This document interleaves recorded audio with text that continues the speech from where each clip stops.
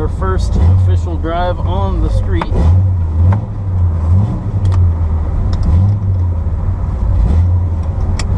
Getting to be lunchtime, go figure.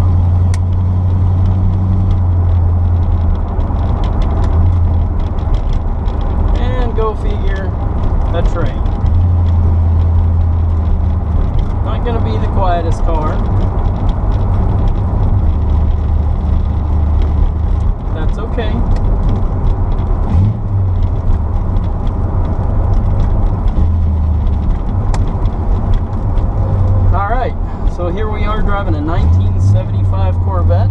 Kind of exciting. Gonna take this little beast home. It's just a short little ride home.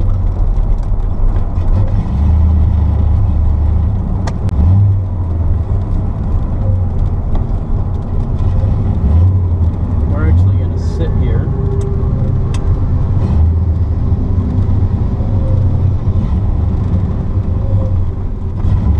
We're gonna sit here where it's nice and level.